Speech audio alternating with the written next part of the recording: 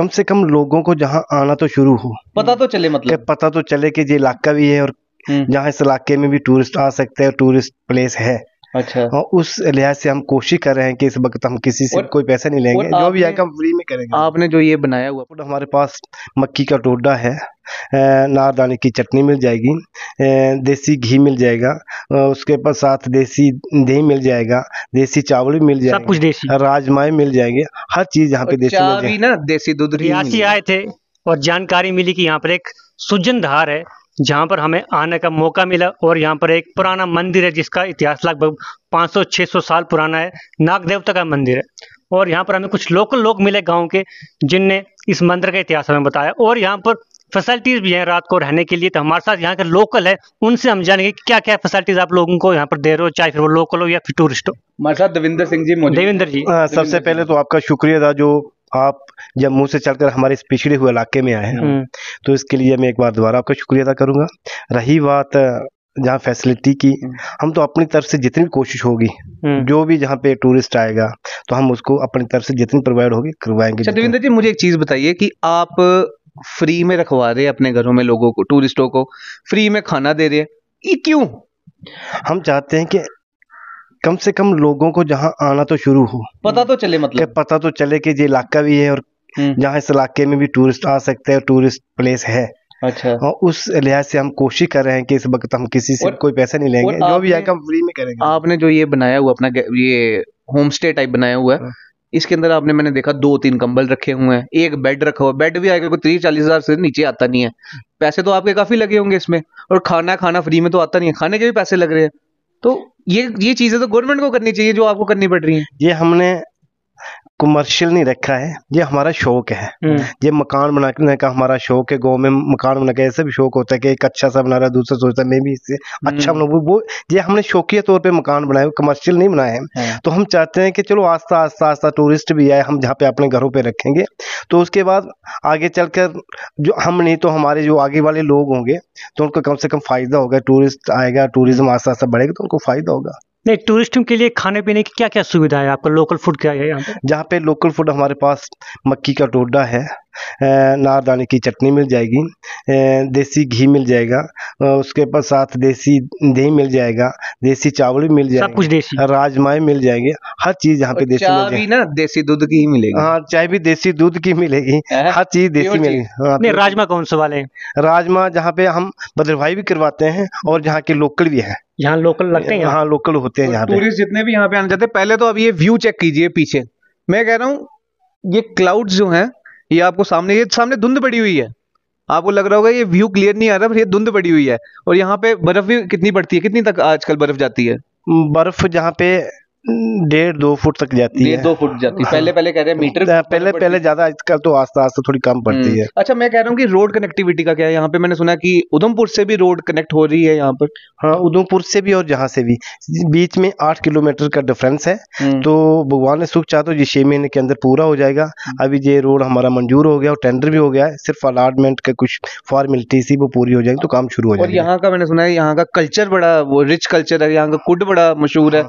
हाँ यहाँ पर भी यहाँ पे उसके बारे में थोड़ा बता दीजिए हमें। जहाँ पे जो कल्चर हमारा कुड है कुड के साथ साथ हमारी भाखें होती हैं हमने सुना होगी। उसको शिंजे भी बोलते हैं।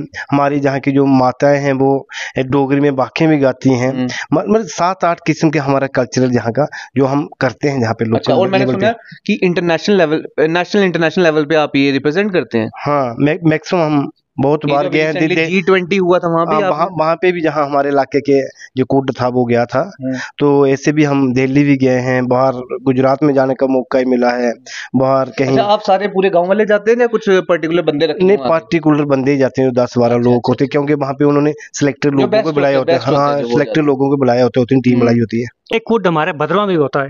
हाँ बद्रवाह का सेम सेम है। नहीं थोड़ा सा फ़र्क है बद्रवाही अलग है पाडरी अलग है हम्म। जो हमारा बिमहा का कुड है ये अलग है।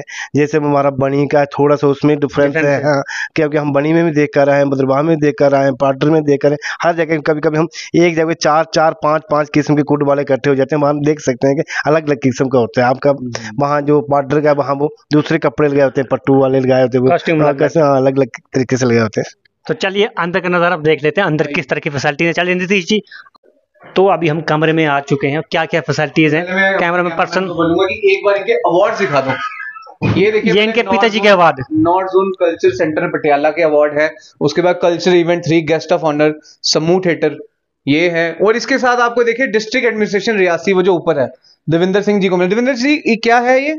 ये मुझे मिला था जो जहाँ पे ये मुझे ही नहीं कहला मिला था मेरे गाँव के सभी लोगों को मिला था किसी हाँ। का जो जहाँ पे आग लगती है जंगलों में हम्म। उसके लिए हमने अच्छा काम किया तो पूरे हमारे गाँव के लोगों को ये दिया गया था हम्म। और जिसमें मतलब लीड में ही कर रहा था और ये छब्बीस जनवरी को हमें वहाँ डीसी ऑफ़िस में डीसी मतलब छब्बीस जनवरी को डीसी साहब ने अच्छा, दिया तो था ये है आपका होम स्टे हाँ। तो ये कम से कम भी बेड जो आप देख रहे हो ना नाना करते हो तीस हज़ार रुपए का तो बेड होगा ये ऐसे कितने कमरे हैं आपके पास टोटल ऐसे मेरे पास जहाँ कोई हमारे पूरे घरों में कोई बारह पंद्रह कमरे हैं। बारह पंद्रह कमरे। हाँ। अगर दस भी लेके चले तीस इंटू दस हुआ तीन लाख रुपया। हाँ। तो मतलब आपने सिर्फ़ लोगों के लिए टूरिस्टों के लिए फ्री में रहना है हमको। हाँ। तीस हज़ार रुपए का बेड रखा हुआ है हाँ। और ये अलमारियाँ बनाई है इस पे पेंट कराया।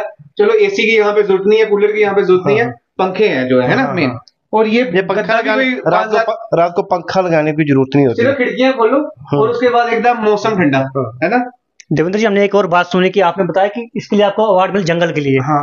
बाकी सारे जंग, पार जंगल में आग लगी हुई है लेकिन हाँ। ये वाला जंगल बचा हुआ है ये कैसे? ये हमारे जहाँ के जो लोग हैं वो मैं चाहूँगा बहुत अच्छे जागरूक है और जंगल को बचाने के लिए हर एक बच्चे बच्चे के दिल में ये रहता है कि हमने जंगल बचाना आग नहीं लगानी है हम्म। और इसके लिए सभी लोग अवेयर हैं हम्म। अच्छा और क्या चीज़ें हैं आपके यहाँ पे गाँव में जो हम, मतलब टूरिस्ट आके एक्सप्लोर कर सकता है देख सकता है टूरिस्ट टूरिस्ट जहाँ पे आके देख सकता है जैसे आपने नाग देवता जी का मंदिर देखा है जहाँ से आप ऊपर चला जाओ तो जहाँ नज़दीक एक किलोमीटर के ऊपर वहाँ पे कम से कम तीन चार हज़ार देव देवदार का है हाँ हाँ वैसा वैसे जहाँ पे भी है हम्म। और वहाँ पे बीच में पानी है अच्छा। मतलब बहुत अच्छी मतलब बहुत ठंडी जगह है। इसके ऊपर चला जाओ आप पाँच किलोमीटर पांगन देवता की दहार है। तो तो है यहाँ वहाँ पे बहुत अच्छा देवदार और बहुत अच्छी टूरिस्ट प्लेस है हम्म। सबसे वही प्रॉब्लम है कि थोड़ा रोड की कनेक्टिविटी कम है इस वजह थो, थोड़ी सी ऐसा problem है। आहिस्ता आहिस्ता हाँ, तो जाएगी ही वो कनेक्टिविटी हाँ, लोगों को अवेयर करने की मैं आप सब लोगों को ये चाहूँगा कि सूजन धार एक बहुत खूबसूरत जगह है। आप लोगों को आना चाहिए। दविंदर दविंदर सिंह जी हमारे भाई हैं। इनके पास आइए, होम स्टे इनके पास दस कमरे।